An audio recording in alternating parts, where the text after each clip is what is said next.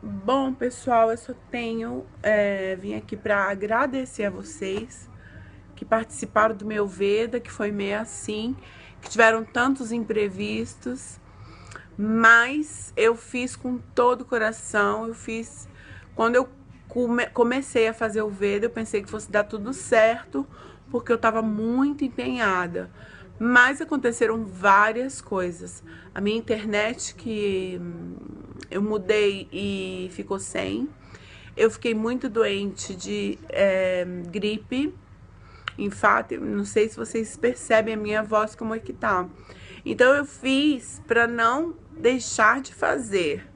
Não ficou do jeito que eu queria, 100%, mas agradeço a cada um de vocês que me deu um like, cada um de vocês que assistiu, que me comentou, que me deu uma força, que isso é muito importante pra gente.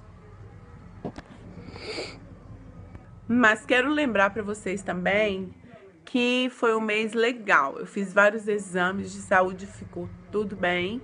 Eu estou com alguns resultados de algumas outras coisas muito legais.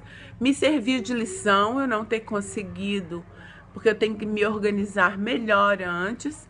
Mas como eu falei, né, eu abri esse canal para me divertir, para fazer, eu achei que eu ia fazer vídeo quando eu quisesse, mas aí que que acontece? Quando você vê que o vídeo tem poucas visualizações, poucos comentários, aí você percebe que tá faltando alguma coisa, que tem alguma coisa que tá faltando, né?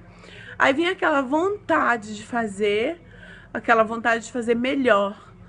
Esse Veda, tô acabando assim, eu acho que eu cancelei até um vídeo do Veda. Então é isso, pessoal.